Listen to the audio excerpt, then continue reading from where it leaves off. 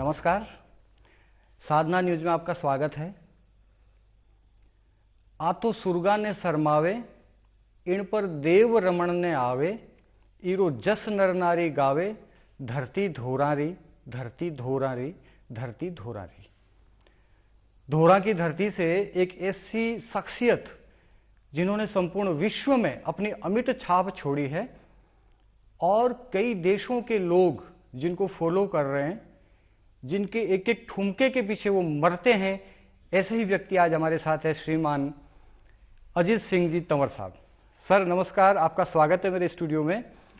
और सर, और आज का जो हमारा ये मिलन है मैं चाहता हूँ कि संपूर्ण विश्व में एक ऐसा उदाहरण बने कि राजस्थान की धरा जो है इस धरा की जो संस्कृति है साहित्य है जीवन शैली है उसको लेकर के आप अपना परिचय दीजिए। खमागणी मैं अजीत सिंह तंवर। राजस्थान के एक छोटे से गाँव से माउंडा कला। और अ, अपने जैसे कि अभी जनरेशन आगे भाग रही है मॉडर्नाइज हो रही है तो मैंने एक कदम पीछे लेके थोड़ा अपनी संस्कृति को साथ में लेके थोड़ा दौड़ने की सोची है और उस दौड़ने में आप सबका और राजस्थान का और अपने देश का बहुत ज़्यादा साथ मिला है। और वो दौड़ा किस वजह से? कि क्योंकि मैं अपने कल्चर अपने ट्रेडिशन को साथ में लेके चला और आप लोगों ने नृत्य के ज़रिए घूमर जो डांस है उसके ज़रिए और अपना राजस्थानी देसी डांस के ज़रिए। और लोगों ने इतना प्यार दिया कि जैसे कोई मॉडर्न को भी नहीं देता। मॉडर्न जो आजकल सब उसके पीछे पागल हो रहे हैं वैसे। तो ये एक छोटा सा अजीत सिंह जो कहीं छुपा हुआ था आप लोगों ने इसको लेकिन साहब हमने सुना कि आपकी बहुत मज़ाक उड़ाई गई आपके ऊपर बहुत लोगों ने हँसी उड़ाई। आपके अ, आपको जब सामने देखते थे तो लोग यूँ इशारा करते थे कि ये वही व्यक्ति जो नाचता रहता है डांस करता है पता नहीं कैसे इसका करियर बनेगा। और आज वही लोग आपको सैल्यूट करते हैं। तो क्या संदेश देना चाहेंगे? ऐसे हमारे कई सारे आर्टिस्ट है जो निराश होकर के बैठ जाते हैं। बिल्कुल शुरुआत कोई भी किसी भी काम की शुरुआत हमेशा ही कठिनाई भरी रहती है। अगर आपका गोल का एक लेवल सेट है तो। जी, जी, जी. और चाहे वो कोई भी फ़ील्ड हो जैसा कि नृत्य एक फ़ील्ड हो गया जिसमें अपने राजस्थान में तो आपको पता ही है कि नृत्य में तो ज़्यादा उसको कोई प्रोफेशन नहीं मानते। पहले। अब आजकल तो जनरेशन थोड़ी समझने लगी है। तो बहुत ही कठिनाइयों का सामना देख, देखने को लिए मिला था लाइक कि ऐसे शब्द भांड। जब चाला करते तो देख नाच तो ही चाले तो। जी ऐसे भांड है ये तो। नाच के बर्बाद हो रहे है खुद भी बर्बाद हुए गो घरवाला का पीसा भी बर्बाद करेगो और खत्म है कैरियर को एक पढ़ा लिखा इंसान मतलब एक वेल एजुकेटेड व्यक्ति अगर इस तरह की गतिविधियाँ करेगा तो दुनिया तो हंसेगी। लेकिन आपने जो सिद्ध करके दिखाया ये भी अपने आप में एक बहुत बड़ी उपलब्धि है। तो इस नाते में एक बात आपसे पूछना चाहूँगा कि कला जगत में हमारी जो आज की कला क्षेत्र में करने वाली जो काम करने वाली जो पीढ़ियाँ हैं वो जैसा भी ये मैंने पूछा कि निराश हो रही है उनको कैसे मोटिवेट करना चाहेंगे आप? कला जगत में मेहनत बहुत कर रहे हैं बच्चे आजकल बहुत मेहनत कर रहे हैं। लेकिन उनको एक ही चीज़ कहना चाहूँगा मैं कि मेहनत दो पाँच साल करके मत छोड़ो। जी जी जैसे आप किसी और फ़ील्ड में भी अगर आप किसी और को देखो तब आपको पता चलेगा कि वो एक अच्छे मुकाम एक अच्छे अर्निंग सोर्स मान लो। जी। आज की यूथ के लिए टारगेट रहते हैं या एक अच्छा नाम। उसके लिए समय देना पड़ता है किसी भी फ़ील्ड को। अनवरत हाँ। रहना पड़ेगा। बिल्कुल और आपको उस चीज़ में पारंगत होना पड़ता है। जी। जी, तब वो चीज़ आपको रिटर्न बैक देगी। बिल्कुल बिल्कुल। तो अगर ज- अ, युवा पीढ़ी अगर आपको खुद को डीमोटिवेट समझे कि यार मेरे तो हो नहीं रहा कुछ जी, जी। तो आप सिर्फ़ ये समझना कि अभी आप उतने पारंगत हुए नहीं। अभी आपको और कुछ सीखना बाकी है। सीखना बाकी अब वो क्या सीखना बाकी है वो युवा पीढ़ी बहुत आजकल की बहुत ज़रिए है। गूगल है यूट्यूब है बहुत से ज़रिए हैं। और तो उनसे या फिर अपने आइडल से जी। रिसर्च करके इनसे आगे बढ़ सकती है। आंधी या तूफ़ान मिले चाहे जितने व्यवधान मिले बढ़ना ही अपना काम है।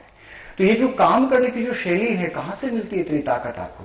पेशेंस जो है वो एक ताकत है। और अ, मैं हमेशा बोलता हूँ जब मैं क्लास लेता हूँ तब हम मुझसे पूछते हैं कि सर आपको गुस्सा क्यों नहीं आता? मेरी ऑनलाइन वर्कशॉप होती है बाहर तो वो सर आप इतने पेशेंस से कैसे सिखाते हैं? गुस्सा क्यों नहीं आता? तो मैं बोलता हूँ कि मेरा गुस्सा मेच्योर हो गया सोलह साल सिखाते सिखाते। जी, जी। तो वही बात है कि एक समय आपको किसी भी फ़ील्ड में समय देना पड़ेगा। और वही चीज़ आपको मज़बूत बनाती है आप सीखते सीखते जब कठिनाइयों को पार करते हुए खुद को देखते हो तो। जी, जी, जी। अगर आप टूट गए तो फिर टूट गए। बिल्कुल बिल्कुल सही है। उससे एक कदम और आगे बढ़ गए और सीखते जाए घूमर नृत्य महिलाओं का है और महिलाओं की जो ठुमके एक पुरुष लगाता है तो दुनिया तो हंसेगी। क्या फील होता है आपको उस समय? बिल्कुल मैं भी एग्री हूँ। घूमर नृत्य महिलाओं का है और जनाना दरबार में होता था पहले। बिल्कुल मैं भी एग्री हूँ। लेकिन एज ए गुरु अगर कोई उस चीज़ पे रिसर्च या फिर कोई उस पे अध्ययन करके आया है टेक्निकली अगर सिखाए और ये अब मुझे खुद अ, मेरे जो इतने लोग जो है जुड़े हुए हैं वो खुद बोलते हैं कि आप जो इतना डीपली टेक्निकल टेक्निकली सिखा रहे हो तो ज़रूरत थी कल्चर को कि कोई प्रोफेशनल आके उसको सिखाए। तो अब उसका तो ये मैं मेरे माइंड में रहता है। कि हाँ टेक्निकली अपना कल्चर क्या है? फॉलो बाय फॉलो है। अपना जो हमेशा कल्चर होता है उसमें कोई टेक्निकली कोई भी चीज़ है आर्ट हो कोई भी चीज़ है हम करते हैं फॉलो बाय फॉलो इसको देख के किया फिर उसने उसको देख के किया। बट अगर प्रोफेशनल्स आएँगे तो उस पर रिसर्च करेंगे और टेक्निकली चीज़ों में जाएँगे। क्यों कैसे फिर उस पर रिसर्च होगा। तो वैसा ही मैंने किया। फिर मैंने घूमर किया तो मुझे उसमें कोई शर्म वाली चीज़ नहीं दिखी। मैं अपने ही कल्चर को टेक्निकली जी जी। जो आज की यूथ को ज़रूरत है। यूथ नहीं सीखेगा आपको फॉलो बाय फॉलो करके। क्योंकि यूथ अभी मॉडर्नाइज चीज़ों पे ज़्यादा अट्रैक्ट हो रहा है। तो अगर उनको ही प्रॉपर टेक्निकली बता दी जाए कोई चीज़ तब यूथ अट्रैक्ट होगा। लाइक यार ये तो मेडिटेशन है घूमर तो एक। घूमर तो माइंड का एक पजल्ड गेम है। आप अपने लेग्स को जिगजैग रखो। मतलब लेग्स की स्पीड फोर है आपके हाथों की स्पीड को आपको कंट्रोल करना है अपनी नर्वस सिस्टम को कंट्रोल करना है। तो बहुत ही नेक्स्ट लेवल की टेक्नोलॉजी है घूमर के अंदर। बहुत वर्क किया मैंने इस बॉडी में जो लचीलापन है इसकी तपस्या को लेकर के हम थोड़ा सा और जानना चाहेंगे। अ, योगा। योगा। योग वो योगा से होगा सब कुछ। तो योगा तो अ, जो हमारे बॉडी की फ्लेक्सिबिलिटी और अ, उसकी चाम बनाए रखना और बहुत ज़रूरी है हर इंसान को करना चाहिए बहुत। आप अंतर्राष्ट्रीय स्तर पे ख्याति प्राप्त हैं और ये जो ख्याति आपको मिली है तो मैं समझता हूँ ये राजस्थान का और पूरे देश का गौरव है। कोई ऐसी आप संस्मरण ऐसा आप बताना चाहेंगे जो विदेशी जो लोग आपको फॉलो करते हैं कोई ऐसा संस्मरण जो सबके लिए प्रेरणादायी हो? जी अ, अभी रिसेंटली कालबेलिया अपना राजस्थानी नृत्य यूनेस्को से एफिलेटेड है और अ, काफ़ी ज़्यादा प्रचलित है वहाँ पे।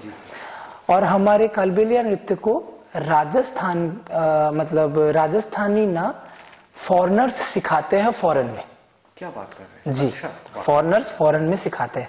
तो जो भी पंद्रह सोलह जन हैं फिनलैंड में है यूएसए में है जर्मनी में है। काफ़ी जो पंद्रह सोलह जन हैं वो अभी मेरे घूमर के स्टूडेंट्स हैं।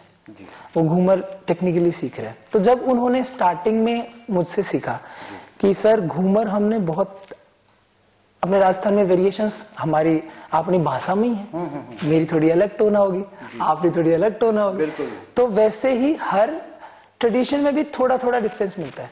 बट टेक्निकली चीज़ उनको जब मिली तो उन्होंने बोला कि सर ये मैजिक है सर। ये डांस फॉर्म जो घूमर है ये क्लासिकल के लेवल का टक्कर देने वाला डांस फॉर्म है। और क्यों इतना वो नहीं था? और अब वो सिखा रहे हैं घूमर भी अपने स्टूडेंट्स को फॉरनर स्टूडेंट्स को और वो उन्होंने ही मेरे को बोला sir it's like a meditation pure meditation है ये। वो तो और माइंड गेम और माइंड चैलेंज और आपके कंट्रोल्स और बहुत सारी चीज़ें। तो ये आ, उन्होंने मेरे को खुद से जितने भी हैं एक से दूसरे को सर्किल बताया अब मेरे पास बहुत सारे फॉरेन स्टूडेंट्स हैं जो अभी सीख रहे हैं। हमने सुना है कई फ़िल्मों में कई फ़िल्मों से आपके पास ऑफर्स आ रहे हैं और काफ़ी ऐसे आपके पास मौके आ रहे हैं जो अभी आप इग्नोर कर रहे हैं ऐसा कुछ हमने सुना है? इग्नोर तो नहीं जैसे मैंने फ़िल्में तो की है तुम्बाड़ मूवी मैंने की है। अच्छा अच्छा। तुम्बाड़ बॉलीवुड मूवी है। उसमें हस्तर जो क्रिएचर था Tumbbad one of the best horror movie I think उस समय पता नहीं था मुझे। हस्तर क्रिएचर वो मैंने प्ले किया है उसके अंदर। मेरा फ्लेक्सिबिलिटी बेस्ड मैंने पहले उसमें कंट्रोशन करता था। उसके बाद में कुछ एड्स भी किए हैं मैंने एक लाइफ बॉय का एड भी किया है। तो अभी देखिए जब तक कोई चीज़ कंफर्म नहीं हो जाती तो उससे पहले आपको ही पता है ऑफ़र आते तो है ही लेकिन डेट्स होती है बहुत सारी चीज़ें होती है और फिर समय का मेन तो और फिर बहुत सारे वर्क्स होते हैं। ये चीज़ें हैं। क्या पता मैं किरदार में कितना हूँ क्या पता आ, तो बहुत सारी चीज़ें हैं। हम आपके बारे में कुछ ये भी जानना चाहेंगे कि फ्यूचर प्लान जो आपने किया है जो कहीं ना कहीं आपने सीक्रेट रखा हुआ है। या फिर मैं यूँ कहूँ कि ऐसे कई सारे आर्टिस्ट हैं जिनको मंच नहीं मिलता है तो उसको लेकर के कुछ प्लानिंग आपकी डेवलपमेंट के हिसाब से? आ, बिल्कुल। सबसे पहले तो जैसा क्योंकि मैं मुंबई में जैसे मैंने इंडियाज गॉट टैलेंट सेमीफाइनलिस्ट था मैं सीज़न फोर का। तो वहाँ पे जितने साल मैं रहा पाँच छह साल जो मैंने देखा वहाँ पे और जितना बड़ा अपना राजस्थान है जी। तो हमारे राजस्थान में टैलेंट का तो कमी है ही नहीं। तो मैं सोच रहा हूँ कि राजस्थान के लिए भी शायद रियलिटी शो कुछ कुछ सोचा जाए या फिर ऐसा कुछ ना कुछ राजस्थान के लिए सोचा जाए कि राजस्थान के जो युवा है जिनको अभी प्लेटफॉर्म नहीं मिला तो कुछ ऐसा कुछ प्लान करने का है ज़रूर। बट कब तक हो जाए वो सब पेपर वर्क पर। तो आप भी टैलेंट के अखाड़े में अपने किस्मत को आजमा सकते हैं और हमारे तंवर साहब का मार्गदर्शन ले सकते हैं क्योंकि संपूर्ण विश्व में हमारी राजस्थानी जो कल्चर है, उसको बढ़ावा दे रहे हैं। और मैं तो इनको साधुवाद देना चाहूँगा, क्योंकि यह कला संपूर्ण विश्व में फैलाकर राजस्थान का गौरव बढ़ा रहे हैं। अगले चर्चित चेहरे में हम पुनः मिलने वाले हैं। इसी के साथ नमस्कार, वंदे मातरम।